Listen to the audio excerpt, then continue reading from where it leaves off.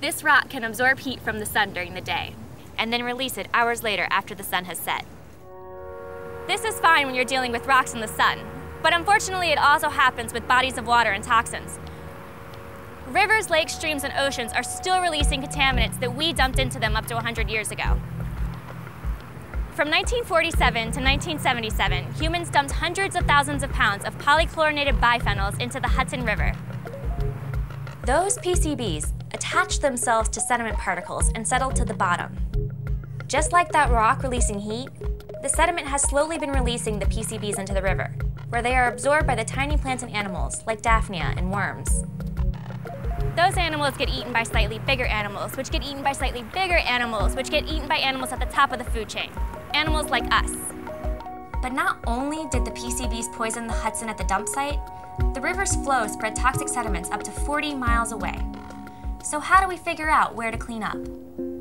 We could take samples of the sediment in lots of random places and measure the toxins. That's what we do now.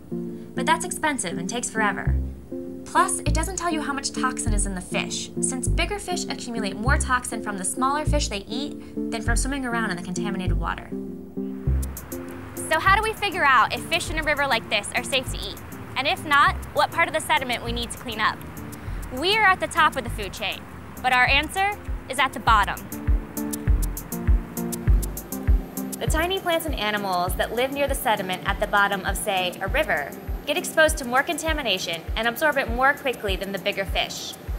This makes them a great indicator of where there's a lot of toxins and whether the big fish around them might also be contaminated.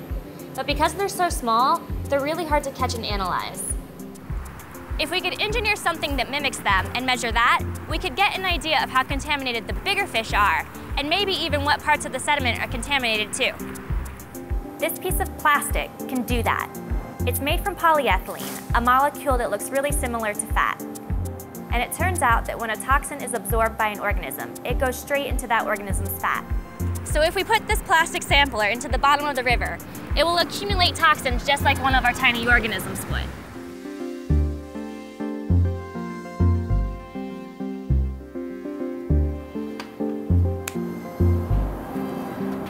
Measure how much contaminant is in the sampler and use a computer simulation to figure out how much would be in the organisms at each step of the food chain.